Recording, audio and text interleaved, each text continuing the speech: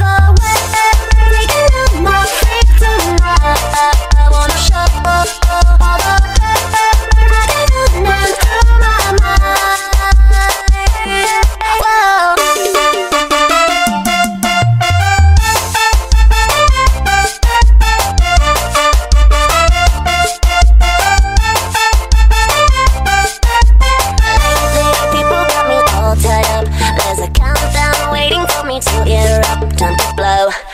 out.